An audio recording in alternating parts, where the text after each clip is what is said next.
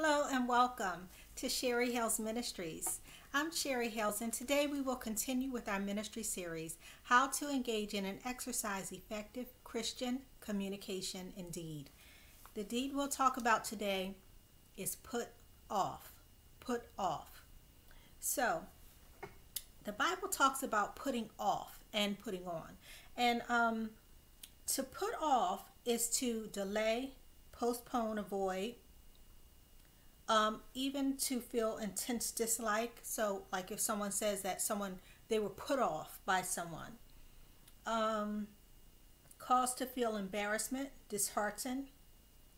But the main um, way that we'll be looking at it is, and I believe the way that it's intended in the Bible, is to reject something, um, not to accept it, not to be a part of it. So to put off is like putting it away from yourself and not being a part of it. So for our purposes, put off is to reject.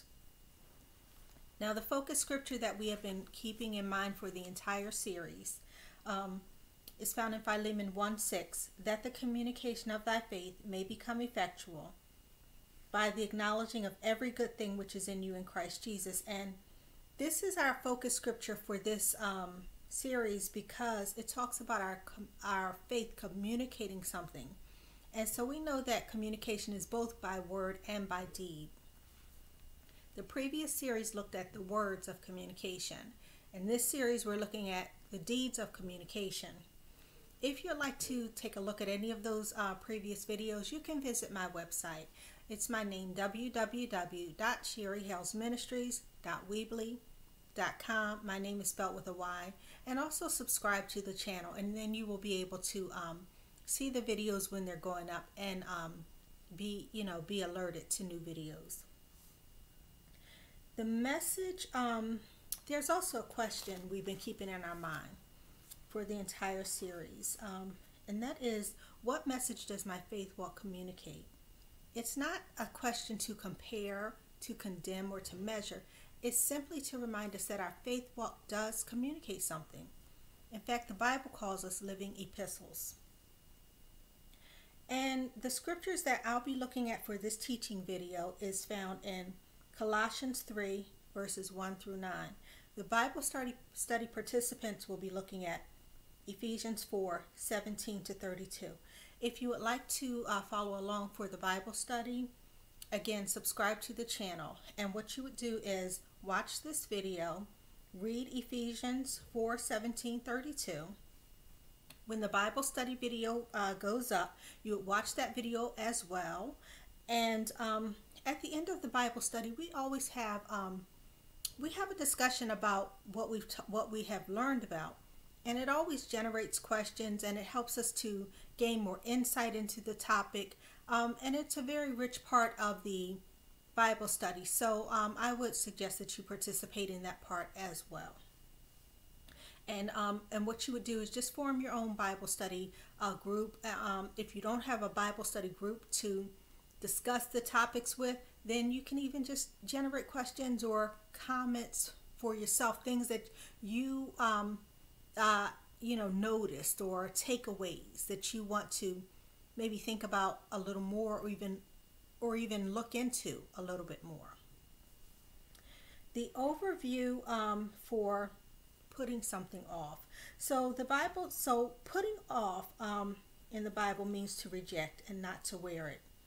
The Bible tells us not to wear strife, envy, backbiting, idolatry, pride, wickedness, lust, greed, among many other things that are uh, prevalent in the kingdom of darkness and accepted and practiced and even flaunted in the world system that we live in today. When we study what the Bible tells us to put off, it will reveal and inform us of those things that are not a part of the kingdom of light, which is God's kingdom, and those things that God does not approve of. And so um, that's just an overview of putting off. Um, so I'm going to um, look at the scripture. So it is five, it is Colossians 3 1 to 9. Typically, I will read the entire passage of scripture before um, I break it down into uh, sections and look at each verse. But I'm not going to do that this time, and I just ask that um, you would just, you know, read the complete um, passage if you have time to. That way you can, you know, hear it in its entirety with before, um, you know, in addition to hearing me break it down. So, let's see. Colossians 3 1 to 9. And I will be looking at the King James Version. So, verse 1.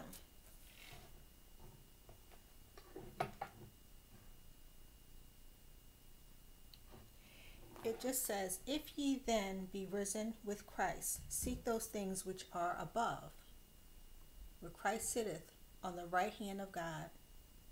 So, if we be risen with Christ, that means that we are Christians. We have um, uh, become a Christian, and um, when we become a Christian, we are a part of the the death, burial, and resurrection of Christ because He did it on our behalf.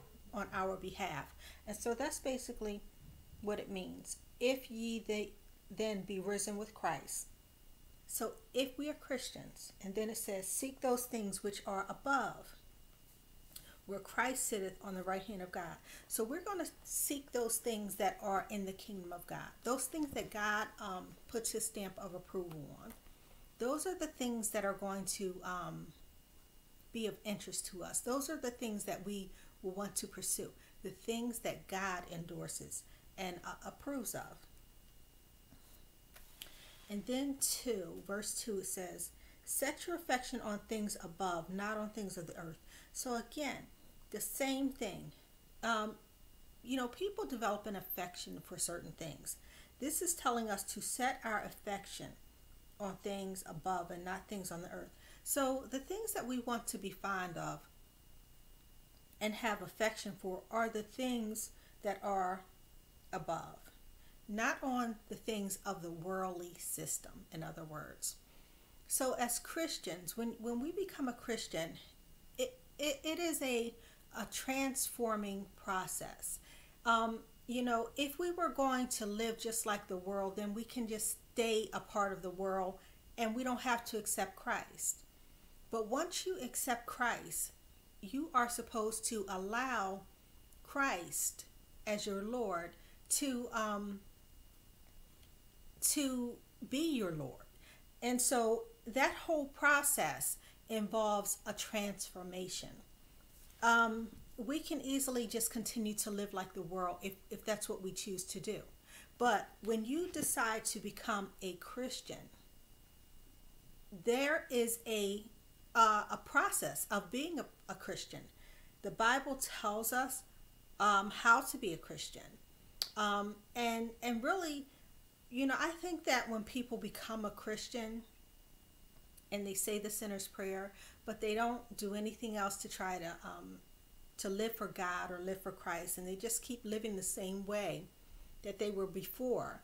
You know, I really think that that is um, setting themselves up um, to to think that they are a Christian when they're actually not, because the Bible does talk about um, Christ telling uh, people at the judgment, Away from me, I never knew you.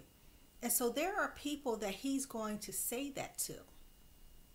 And so it implies that there are going to be people that think that they are Christians and that God has accepted them. And he's going to say, No, get away from me. I don't know you. And so when we become a Christian, the Bible is even says that we become a new creation. And so the Bible then tells us how to be this new creation. And I, I really think that, um, you know, there's not enough emphasis on the transformation process of becoming a Christian because there is a transformation process. It's not just living just like you lived when you were in the world. Um, again, if a person wants to do that, then they can just stay a part of the world and live exactly like they want to live because we all have a free will. But if you're going to seek out Christ, then you are also supposed to follow Christ. Um, and then verse 3 For ye are for ye are dead, and your life is hid with Christ. So he's he's telling you this. He's saying, For ye are dead. So when we come to Christ, the old man, the Bible talks about the old man. So the old man has actually um, has actually died. The old man has died, and we become a new creature in Christ. So this is implying that right here. We're not even to God, to the Lord, the old person that we that we were when we came to Christ. That man has died. Um, that natural man. And so now our life is saying our life is hid in Christ. We become a part of Christ. You know, these these concepts are very difficult sometimes to really grab a hold of. But you can clearly see here it's talking about um, you know, a, a major transformation taking place.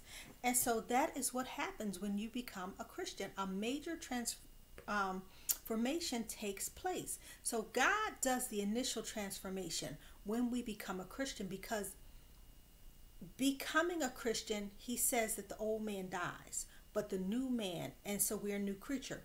The new creature part is the doing part. That's the process of of becoming that new person. Uh, we have to go through this process of learning what does God approve of and, and how to be like God wants us to be. The Bible is 66 books. You know, it's not 66 books just because, um, you know, the people that um, wrote the Bible just wanted to keep writing. It's important. Every book is important. Every word in every book is important. And so, as a Christian, we're supposed to take it to heart and allow this book to dictate how we're going to live our lives. And then verse 4 goes on to say, When Christ, who is our life, shall appear, that's saying it again Christ now is our life, who is our life shall appear, then shall ye also appear with him in glory.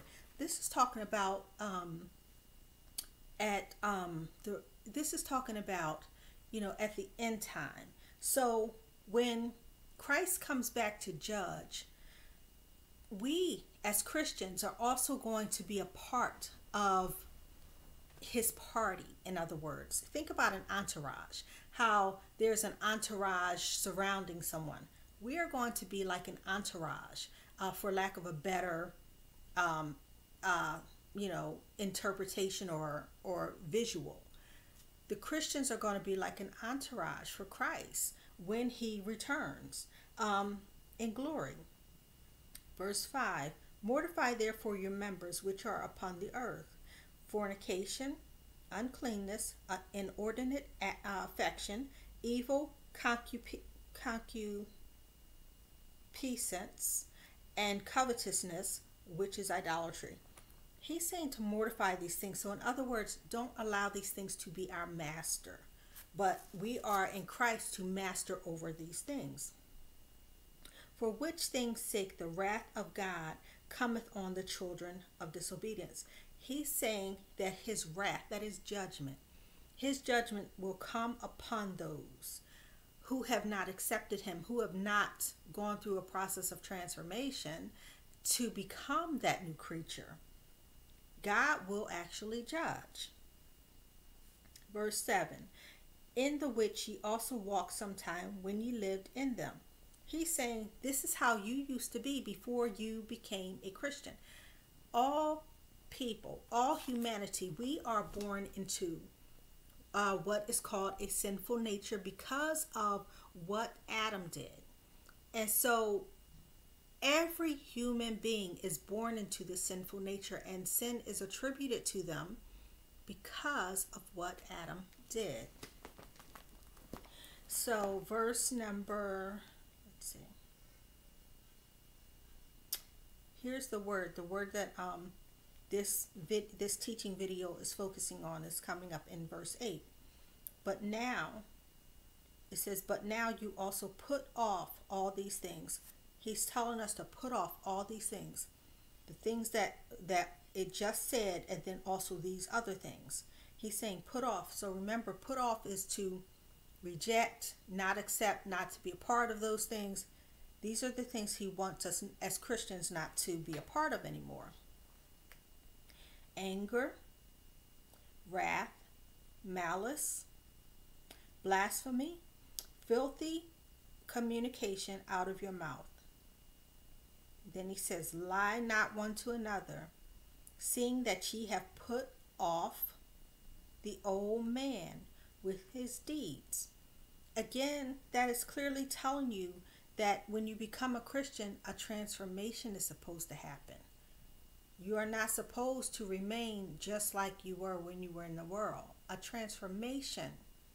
Because the way the Bible um, endorses um, for people to live is different than the way the world um, lives. And so this is clearly saying that there is a process that we must go through and that things that we that were acceptable as as just you know before we became a christian are not acceptable to christ this is clearly saying it um let's see and that was actually verse number nine that's that's pretty much it and you know sometimes in the videos i try to go into more detail and and i try to break things down a, a little bit more but that speaks for itself. I mean, you know, it, it's pretty much the thing is with with Christianity, either you accept the Bible for what it says or you don't.